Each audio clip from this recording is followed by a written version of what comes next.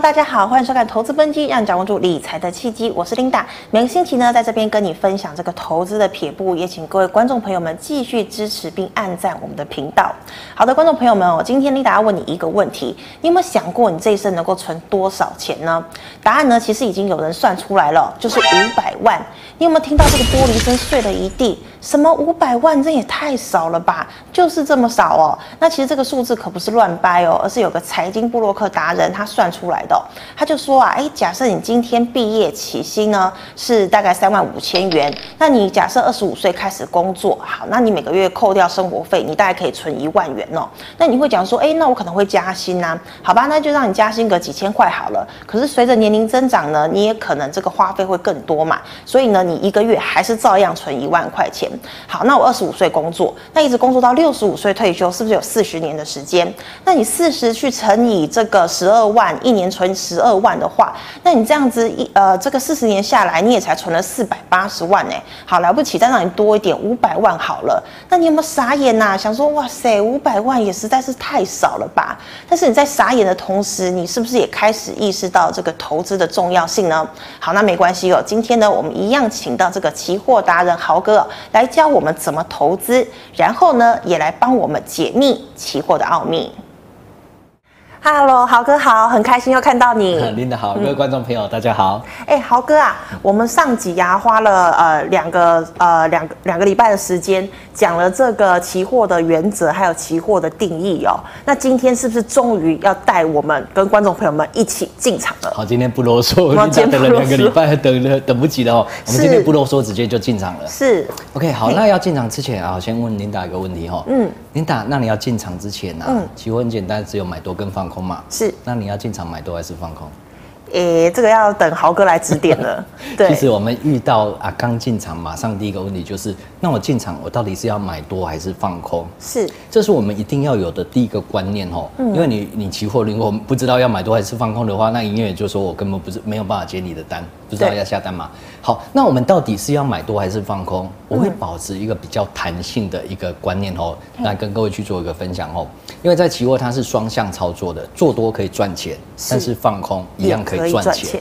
问题是到底是要跟着谁去买多，或是跟着谁去放空？对啊。那我会建议各位哈，你只要跟着一个人，嗯，那个人叫做市场，市场最大咖的，对，市场上啊，市场说了算，就是你不管做了再多的一个分析，或是你的啊经验再多的一个丰富，是。永远市场说的是对。因为你你我们是钱在里面跟他去做一个输赢的嘛，对，所以市场有时候啊一一些老朋友们可能会觉得说，哎，这笔地方明明看起来它就应该是要涨上去，我买多为什么会赔钱呢？嗯哼，市场它虽然有时候没有道理，但是它永远是对的，嗯，因为它就是老大，我们的钱就是在里面去做输赢嘛，这样子，他不会跟任何的人去争论对或是错，那他不会管你是阿猫阿狗或是你是什么大户，他不会跟你去争论对错，是，它只是一个平台，就是让我们。啊，在参与这个平台的时候，我们会发现它是一个不断让啊输家的钱流到赢家钱口袋的这个平台。对，我觉得这个是我们要进场之前最重要的第二个的一个认识哈。所以永远要跟着市场上的一个。啊，方向的一个趋势去操作。好，那接下来就是第三个，也是就是最重要的，讲了老半天，那到底什么叫做市场上的方向？是啊，对，市场上的一个方向啊。以我的经验来讲的话，我归纳出来，我我交交易这么多年，它只有三种方向。哦，它没有第四种，没有发现第四种方向。是，我们说的是，就是市场上它目前正在进行的方向。是，那我归纳出来，它只有三种，是有多。也就是我们说的，它在上涨的时候多，嗯哼，这种是第一个叫做多往上涨。对，那同样的有上涨就会有下跌，那下跌的时候就是空空哦，市场上有多空。那第三种就是它不是在上涨，也不是在下跌，叫做盘整。哦，盘整。那盘整的话，那是属于一个高手的一个境界，那是最困难的一个。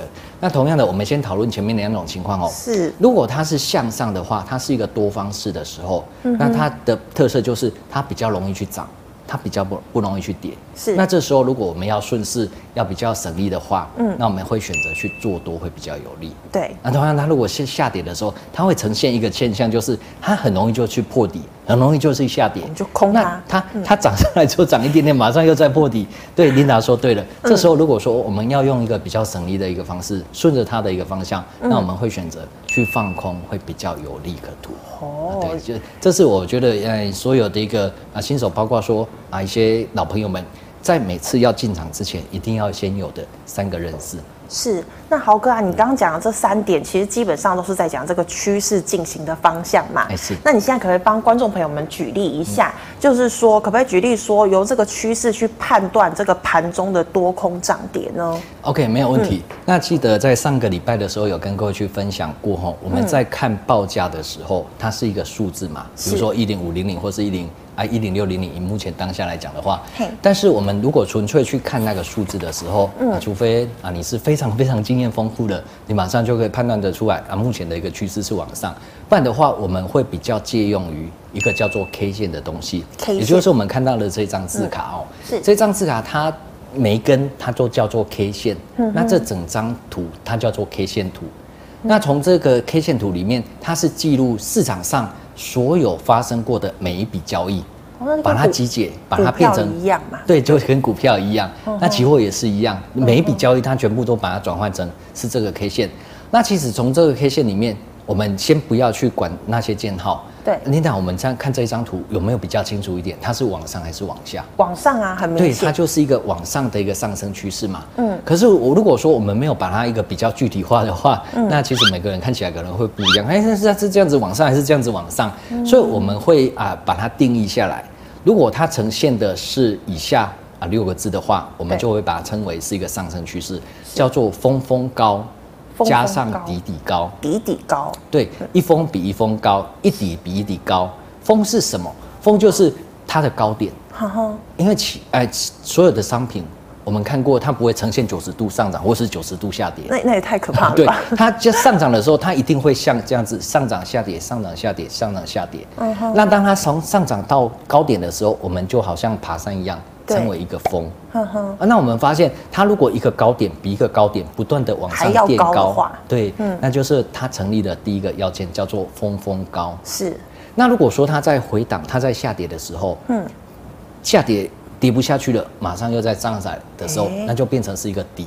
是，啊，一个峰比一个峰高，是。那一个底比一个底高。好，那我们再看到这张这这一张字卡的时候，是。那我们上一张字卡，是。对，我们发现我们把它的一个高点，我们都用粉红色的箭号来去做一个指指指示吼。对，我们发现，对，从左边的第一个箭粉红色的箭号，第二个、第三个、第四个、第五个、第六个到第七个，我们会会发现它的每一个高点，它都是不断不断的啊，在突破前坡的一个高点，它就成立了第一个要件叫做峰峰峰高高。对嗯，那相对的，我们再看到下面它的每一个低点，我们用绿色的箭号，从左边的第一个绿色箭号，第二、第三、第四、第五、第六个箭号，我们发现它也不断的底部不断的在垫高，是，它是不是也就成立了峰峰高，而且它是底底？高那我们就可以把它比较啊正式的归纳，它目前的趋势，目前的方向就是一个上升的一个趋势。哦，这样还蛮好判断的。吼其实这样子的话，我们在判断趋势的时候，就会相对的轻松很多。是那同样的有上升趋势的时候，那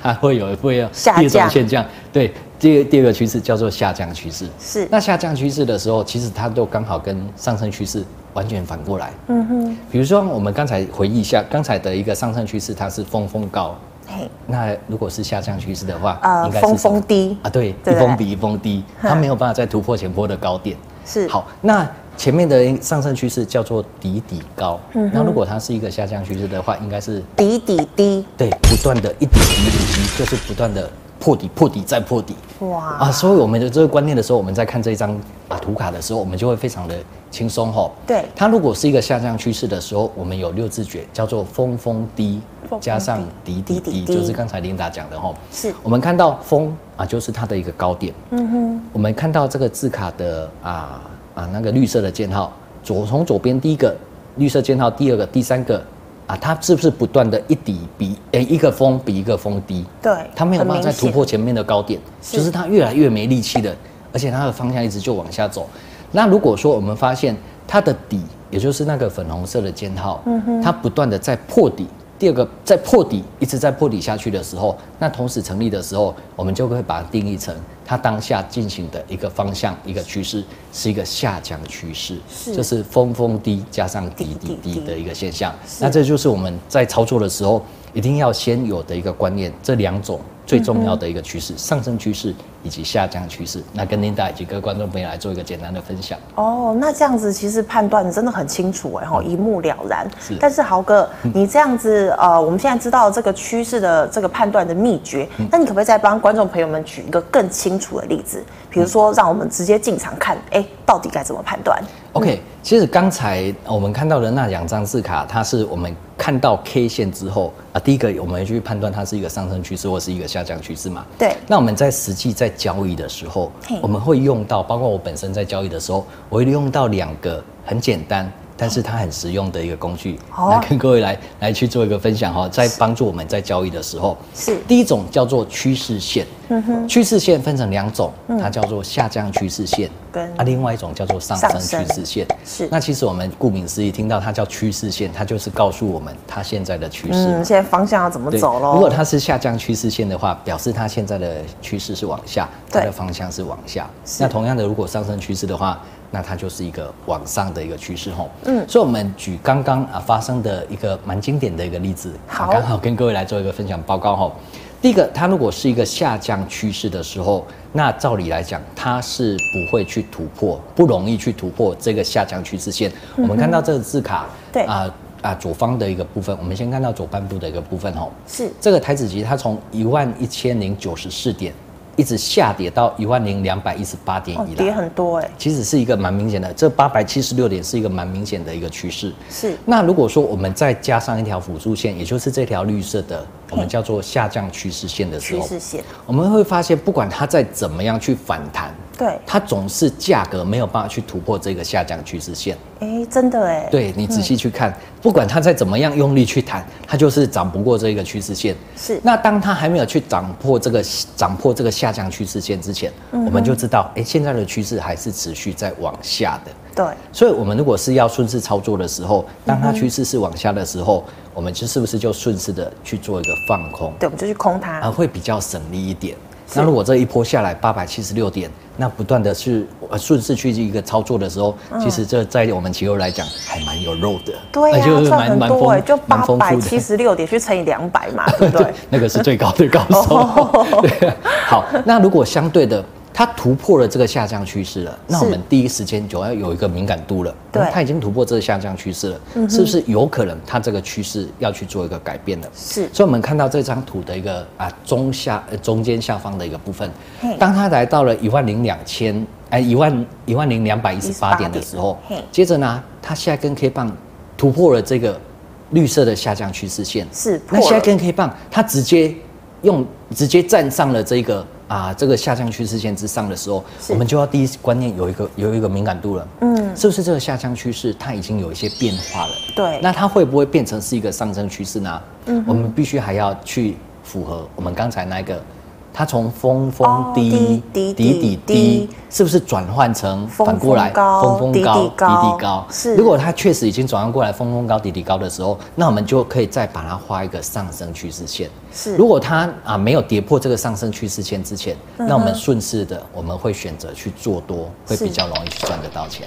哦，这个是趋势线的一个运用，它很直觉，但是在实战上啊，确实帮了我们很多的一个忙。是啊，这样判断真的超级清楚的。对，那另外一个啊 还有另外一个还有另外一个哦，因为我我比较呃跟各位去分享的就是我们实际在交易的时候，是我们会遇到的一些啊瓶颈点，是啊简单的跟各位去做实战的个分享。秘诀，对，那其他那些教科书的一个东西，那 大家有有兴趣、有时间的话，再再去再去再去搜寻吼。是好，那我们刚才有分享过，第一个工具叫做趋势线，下降趋势线有分成两种，下降趋势线跟上升趋势线，跟上升趋势线。懂，那判断的方式就是它不要去突破它，或是不要去跌破它，那我们就顺势的啊去操作，会比较容易去赚得到钱。可是如果说站在我们一个比较短线交易的一个方式的时候，我会再跟各位去推荐、去介绍啊一种一个技术分析的一个东西，叫做均线均线啊，平均成本线，也有又有称均线 简称为均线哦。那均线的话啊，我们在交易期货比较偏向于短期的一个交易，那我会运用这个五日均线，或是俗称的这个五 MA 吼。嗯，五日均线它的一个观念。就是说，在过去这五个交易日市场上的一个平均成本价格。对，好，那我们如果说有这个观念之后，那我们再去运用这个均线的时候，我们就会胸有成竹了。是，过去这五个交易日的平均价格，嗯，万一跌破了，嗯哼，哦，那是不是代表着过去这五个交易日买进的人，他们已经低于他们的成本，表示他们可能开始赔钱了？对，那赔钱的时候就会有开始一些停损的卖压出来。是。那停损的卖压出来的时候，大家卖的时候，那这个股价是不是比较容易往下跌？对，就可能狂卖的指数不是不是比较容易往下跌？好，那如果我们有这个观念之后，我们再来看这张图的时候，大家就会啊非常清楚这个观念吼。嗯。好，均线是长在什么地方？我们看到这张图的左啊左上角的部分，从左上角的部分，它有一个叫做五 MA，那它延伸下来就有一条细细的啊细细的有有有一点。不太规则的往下，对对对，像曲线的那一条，那个就是啊，我们看盘软体里面的五 MA，或是我们俗称的五日均线。是对。那我们怎么样去做一个判断呢？我们先把一个定义哈，就是当它跌破这个五日均线的时候，嗯，并且这个。啊，五日均线的方向它开始转向下方的时候，嗯哼，这时候我们会选择去做空会比较有利，是。对，因为我们开始采取它的一个顺势，因为它的一个趋势很可能已经反转向下了，是，所以我们看到实际上我们所呃看到的这个呈现，当这个五日均线我们一路看下来，它是不是在左边啊左上角第一个绿色的箭号？对，它跌破了那个五日均线，是，接着呢，它破底之后再弹上来。第二个绿色的箭号，它是不是没有办法再过那个五日均线？对，接着再破底，然后弹上来。第三个箭号，它还是没有办法再突破那个五日均线，接着它就一路在破底，一路在破底下去，就照着那条线。对，它就好像就一直被压着打，我就那一条线一直被压着打，怎么样上去，它就是被压下来，上去它就是被压下来。是，那一直到我们看到图的中下中间下方的一个部分，嗯，跌到了一零二一八的时候，嗯哼，接着呢，它突然，哎，有一天。站上了这个五日均线，嗯，并且它在站上五日均线的同时，我们看它这个图的中间的一个部分哦，嗯，站上五日均线的同时，它这一条五日均线它本来是向下延伸的嘛，对，它变成转方向了，哦，它变成是转向一个上升的一个方向了，是，这时候我们第一个敏感要有出来了，交易的一个老手第一个敏感度要出来。了，是，哎，它站上五日均线，而且这个五日均线的方向往上了，那我们是不是？啊，放空的可能就要有一些警觉了，对，是不是这个趋势已经开始要转一些方向了？是对。那如果再搭配的，我们刚才讲的那个啊，峰峰高底底高有成型的时候，是，那你再去判断，我们看到它当它反向又站上这个五日均线的时候，它变成是一个支撑了，嗯，也就是价格。只要跌到那个五日均线的时候，那个红色箭号的时候，那个粉红色箭号的时候，是。它就跌不下去了，马上再过高，是。下去马上再过高，是。那一结果这一路弹上来，本来是跌了八百七十六点，马上又往上弹升了啊，高达五百零九点，刺激耶！其实像这种，这就就是我们期货操作者，我们喜欢的是波动，对，就是它，我们最怕的就是一滩死水，你根本不会动，那我们就对，我们就没有肉。可是像这种。大幅度的一个波动的时候，那对我们期货操作者来讲，这就是一个很好的一个机会点。那在实战的一个部分，我们当然就是啊，如果选择顺势操作的话。会比较省力一点，在这地方跟 Linda 以及各位观众朋友来做一个简短的一个分享报告。哦，那谢谢豪哥的分享。那我们知道由这个均线和趋势线，我们可以判断说，哎，要做空还是做多。但是呢，Linda 又有个小问题哈，现在又有问题喽，就是啊，那如果今天这个盘势是区间震荡呢，我们要怎么看啊？哦，其实 Linda 很用心哦。刚才我也讲过，我观察其实只有这三种盘势。第一种盘势就我们介绍的上升趋势，嘿。第二种是下降趋势。是，那如果第三种盘势，嗯，是一个盘整趋势的时候，对，其实我们在实战上面的话，我们不会把它定义成盘整盘，它是一个高手盘。哦，高手盘。其实包括很多期货的高手老很多老前辈常常会被这个高手盘给啊做一些蛮大的一个困扰哈，因为它就是涨不上去也跌不下来，就是一直盘在那个区间，是。啊去做一个震荡的时候，那到底应该怎么样去做一个化解？如果没有学过这个高手盘，不能成为期货高手。我还是新手没关系，是是，所以在这个高手盘的一个部分，我它有比较更多的一个细节，但是在这些要进入这些细节之前呢，我会比较建议琳达以及我们啊电视机前面啊。荧幕前面的一些啊新朋友们吼，是。你先把今天的这两种趋势啊，我简单跟各位去分享的这两种趋势，嘿。先把它扎实，先把它根基先打稳之后，是。那你再来着手，再来着手这个盘整盘的时候，我相信你会更容易去上手，哦，豪哥的这个真心的建议，因为这是我过来人的一个经验，好跟血泪哈来换的这样子，跟各位来做一个啊，真的是真心的一个分享，是。比较这样子去做个建议。好，今天谢谢豪哥的分享哈，谢谢琳达好，谢谢观众。观众朋友们，今天豪哥啊，终于带我们这个期货进场了，而且告诉我们说，哎，要有这个趋势线，还有这个均线来判断，应该是要做空还是做多。那么琳达呢，其实也很好奇这个高手盘到底是什么。可是呢，要成为高手之前，就像豪哥讲的，我们是不是应该要把基本功练好？那基本功要怎么练呢？很简单，好，扫一下这个豪哥的 QR code，加入这个 Line at。就有机会呢拿到豪哥独家提供的这个趋势获利秘籍哦。另外呢，如果喜欢我们节目内容的朋友呢，也欢迎在脸书上按赞、分享以及订阅。那也别忘了在 YouTube 频道上开启这个小铃铛装置，并搜寻这个 G Money 哦，然后这样子呢才不会漏看我们的影片哦。好，那么再次谢谢豪哥，谢谢琳达谢谢谢各位观众好，我们下回见喽，拜拜拜拜